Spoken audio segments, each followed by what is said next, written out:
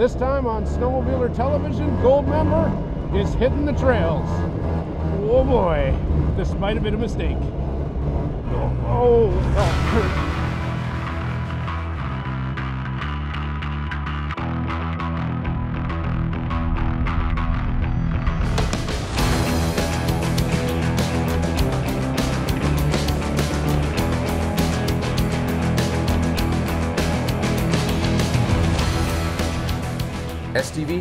Brought to you by Yamaha, revs your heart. Ultimax belts, performance driven, performance proven. And by Polaris, think outside.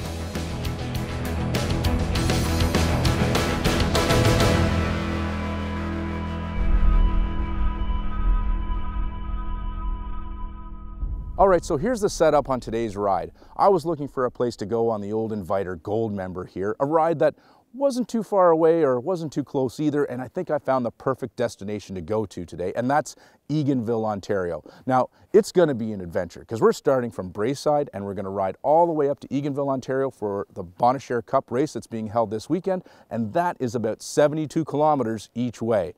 And I mean, what could possibly go wrong?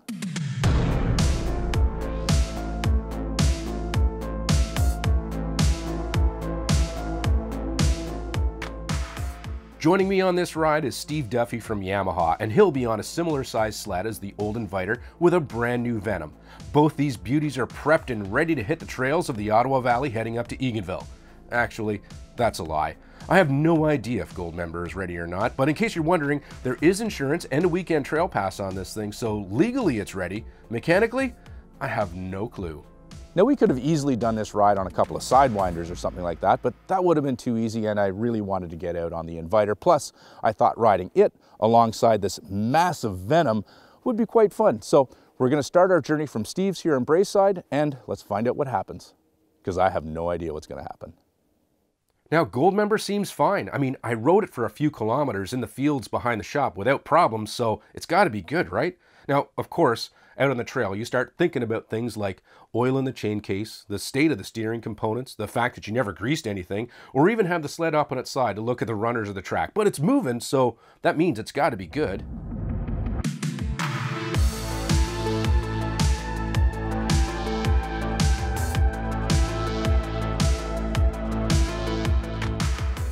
What's funny is seeing these two sleds side by side. It's almost comical how small the Inviter is, and the Venom absolutely towers over the sled, and it's 7 eighths the size of a normal machine.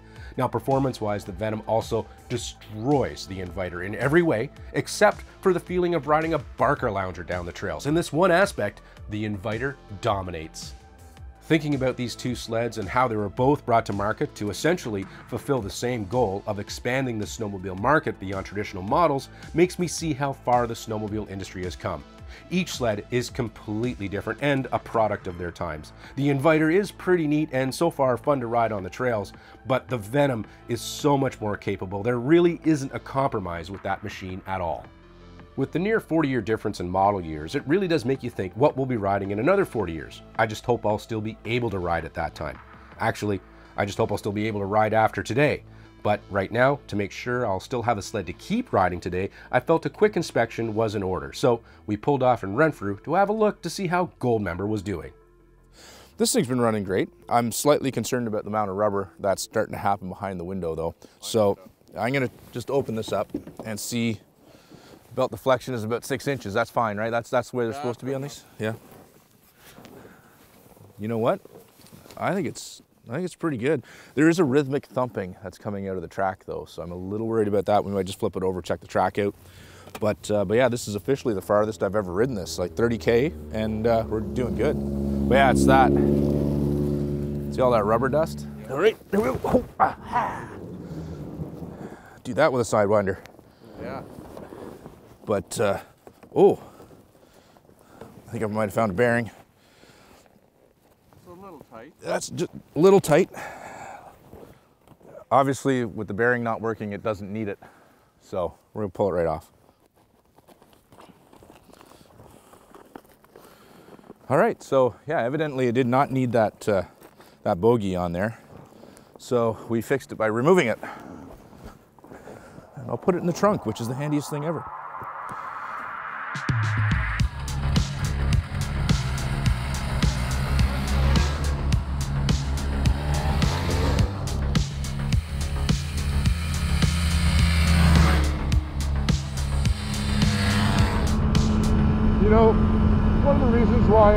To do this ride with the Inviter and uh, back there Steve's on a Venom because, I mean, it's sort of a mid-sized sled, but back then, I mean, the, the Inviter next to the Venom, the Venom looks massive. I mean, it's unbelievable how big it is.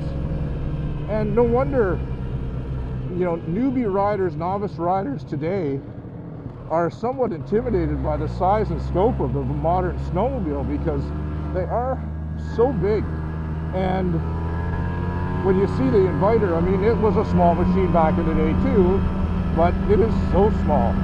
But that's that's what made it, I think, easier for people to get into snowmobiling back then was the machines just were a lot easier to to ride and just go out and have fun with. and they weren't capable of speeds that were as crazy as the stuff is now to uh, to scare people with. And you know, the Inviter, you know, it sort of did that back in the day. Maybe yeah, Yamaha missed the mark a little bit, but when you look at the Venom, again, it's still it's mid-sized now, big for comparing it to the Inviter, but you know, it does such a great job of you know giving a great snowmobile experience to riders that you know, don't want 200 horsepower, you know, Sidewinder or the, the big machines. They just want something that's easy to handle, easy to ride, friendly. You know, people who are buying those sleds don't need a sled, don't want a sled that goes that fast. You know, the Venom can be a machine you can hop on, that anybody can hop on, go and have a great time with, and just enjoy themselves out snowmobiling which I suppose was the original intent of the Inviter. But uh,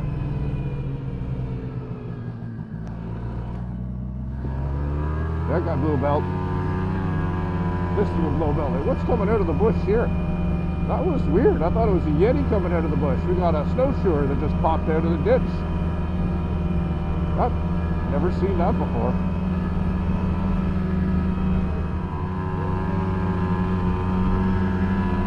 fun times. Not regretting this decision at all yet. Got lots of riding left to do to regret, but for right now, the Inviter is absolutely providing a great snowmobile experience. Goldmember is uh, is the bomb right now.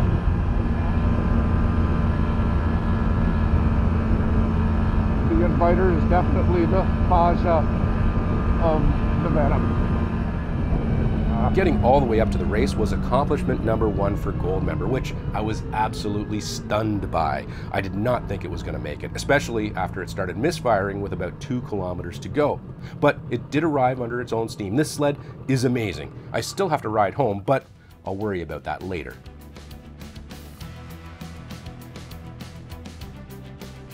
Coming up after the break, we're going to hang out at the track here for a little while before heading back on the Rockets. This segment is brought to you by Kane's Quest. This is the 47th running of the Bonnechere Cup held here in Eganville, Ontario at one of the last great ice oval tracks left in the province. And it's back now in 2023, the first time in a few years since being canceled due to COVID.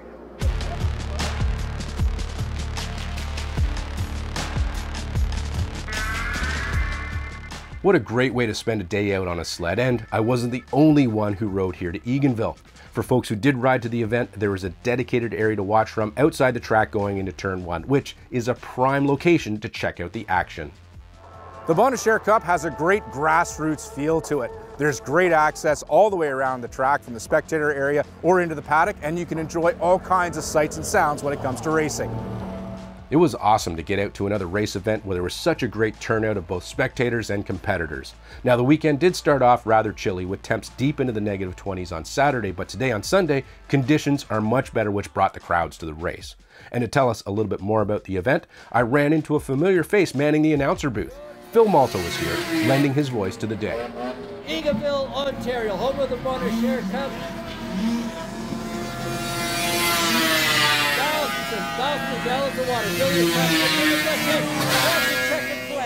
You know, it's funny, after retiring from media and snowmobile sports, I'm back in it, but I'm here announcing. I'm a volunteer announcer.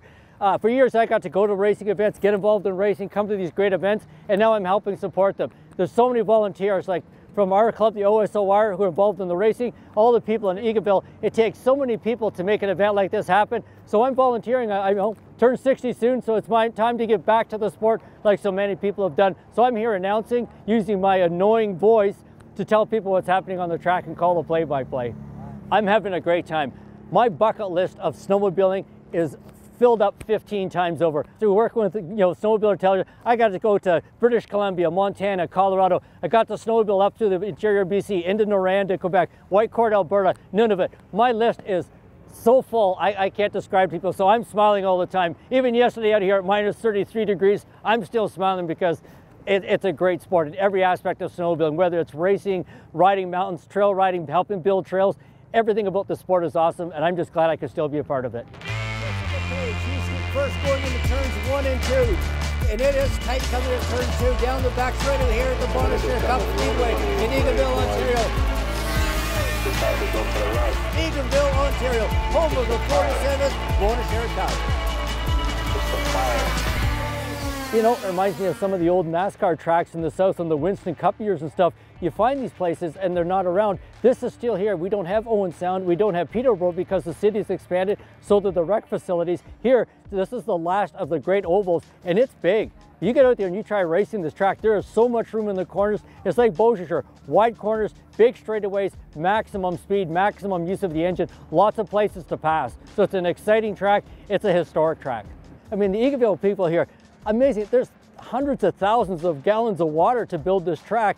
And then the week before you start watching that forecast, what happens if it hits plus three? What if it hits minus 30 like it did? What do you do with all these conditions? The track is amazing how it's held up. And, and to build it and to deal with the conditions, like everything in snowmobiling, you make plans on Tuesday and Friday night. You don't know if you, a lot of people couldn't even get to the track. We had a lot of people, their trucks wouldn't start, so they try and get a ride with their competitors to get here. We had a power outage too at the real cold and it was, a, it was for a large area. So we didn't know if we'd have power for a whole day. So suddenly you know, good old people in small town Canada, out come the generators and the electrician is like, how do we get through this? Well, okay, we can do this, this, and this, and you work your way back with a game plan. So small town Eganville, you gotta love the way they do stuff. With such a fun day in the works, there was one more nagging concern in the back of my mind though, actually two. The first was wondering if Goldie would even start after arriving running on half a cylinder, but the next thing was thinking about how rough the trails were going to be after seeing all the sleds here at the race. The adventure definitely was going to continue today.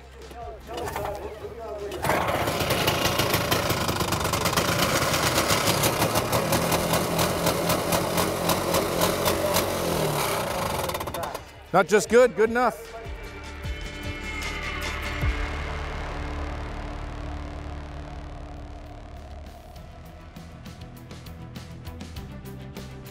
Coming up after the break, I'm going to hit the trails again with Goldmember. Hopefully, it'll take me all the way home. This segment is brought to you by Polaris. And we got her going.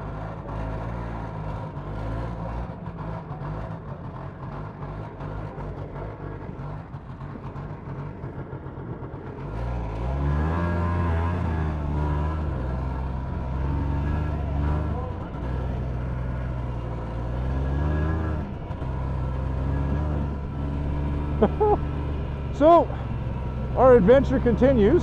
Cross some fingers that we're gonna get home. We're not sure what's gonna happen. You know, this thing is probably just too stupid to know it shouldn't be running. So we'll just bounce along down the trail. Definitely have to say, oh, these things are rough. Oh my God. Good day though. Let's see. So today we started out this morning. We left around 9:30, 10 o'clock from from just outside of Arnprior and Braeside and then rode 80 kilometers up to the Bonnechere Cup in Eganville. Had a good afternoon in Eganville. Weather was way better than yesterday where it was crispy cold yesterday. It was just nice today. And uh, now we're riding back down to uh, back to Steve's place and homemade lasagna that my mom did up. I mean, if we can get there in one piece, it's going to be an epic day. Definitely an adventure honestly wasn't sure if this thing was going to make it out of the parking lot at uh, at the cup race. I think we got some wiring issues and maybe maybe a bad plug. But I mean, I, I knew it. I, I was thinking ahead. You know, riding old stuff, you ride around with plugs in your pocket. So this morning I threw a couple of BR9s in the old hip pocket there, and uh, just for such an emergency.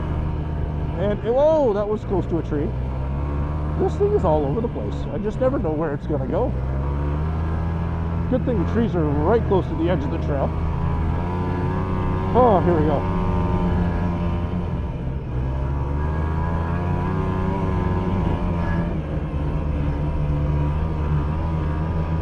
You know, it's at this point when you're doing this on a old sled, 87, and you got really rough trails, you start to think about stuff. Right now, I'm thinking about my steering. And whoa, whether or not all the nuts and bolts are in good shape, that, uh, you know, it doesn't have 30 some odd years of wear on it and getting thin to get hit by a, a big sucker bump. I got three behind. You know, you have a big sucker bump behind you, get hit, and next thing you know, the old inviter takes a hard right into the bush, you know.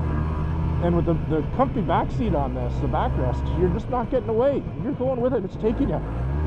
It wants you to ride it, it does not let you off. Oh, oh, oh. Oh.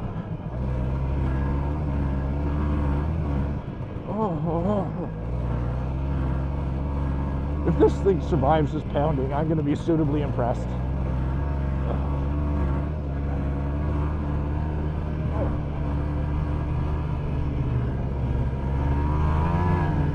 Think we fixed our electrical problem. I think it was mostly mostly the plug. Got to go simple sometimes. Oh, look at this one. Oh, that danger. Thanks. Danger's after the friggin' danger. Somebody needs to put the signs ahead of the danger, so you know there's danger there. Oh, that hurt. So while my back continues to disintegrate, we're gonna head back to Steve's place tonight for dinner. And then tomorrow, after all the over-the-counter drugs kick in, oh, oh, we're gonna we're gonna finish the show. My God, my back hurts. Oh, are we there yet?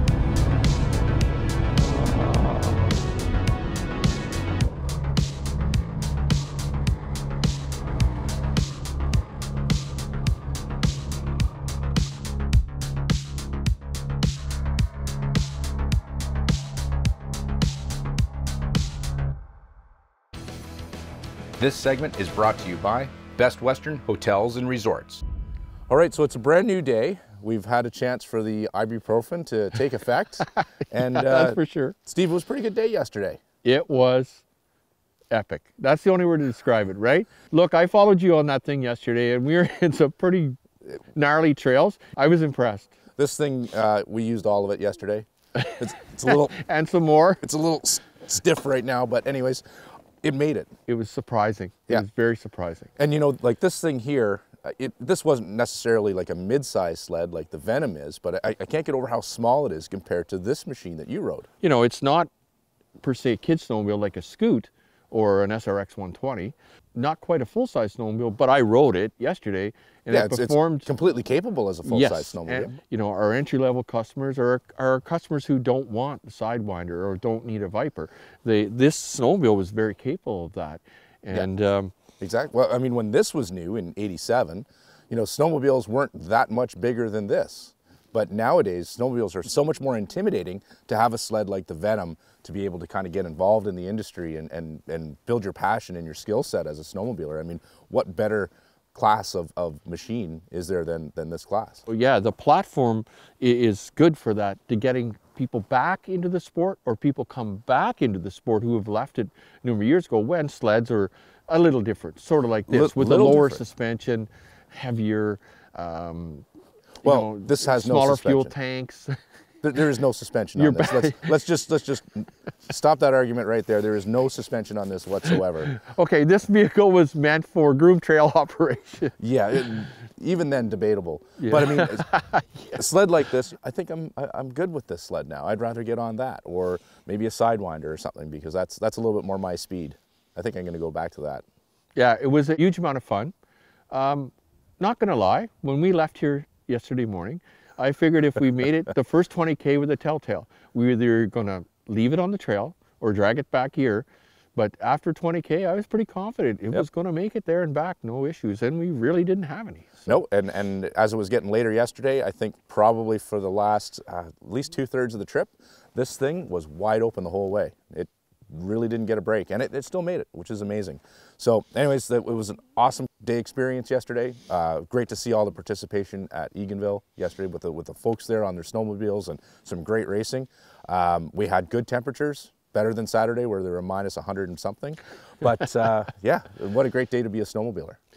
I just want to thank you for uh, coming up with this idea and inviting me along. I had a, it was a great time. It brought back, well, following you, it did make me chuckle a few times, but uh, yeah, it was great fun. It was great fun to see uh, the, the looks on people's faces when we rolled into the Bonnechere Cup. Uh, yeah, it, it was fun. It was A couple people didn't believe me that I wrote it there.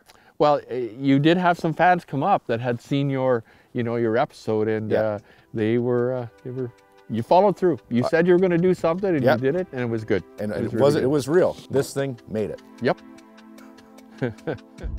Thanks for watching. Until next time, get the old stuff out of the barn, out of the shed, out of the garage, wherever you got that stuff hidden away, and go and ride it because it is a heck of a lot of fun, but it also makes you appreciate how good new snowmobiles can be.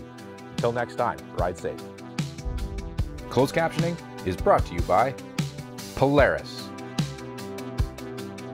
STV has been brought to you by CKX, Wear Your Passion. Best Western Hotels and Resorts, Ready to Get Away, and by On Snow Magazine, for snowmobilers from snowmobilers.